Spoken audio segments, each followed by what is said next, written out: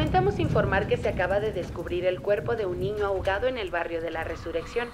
Al parecer, su madre descansaba mientras ocurrió el incidente y cuando despertó, la señora encontró la puerta de la casa abierta y al infante en la pileta. Trataron de reanimarlo, pero falleció camino al hospital. No se sabe si fue un accidente o un asesinato, pero este tipo de cosas siguen ocurriendo año tras año en la colonia y en Día de Muertos. Le pedimos a la ciudadanía que cuide a sus hijos, y más en estas fechas. Es un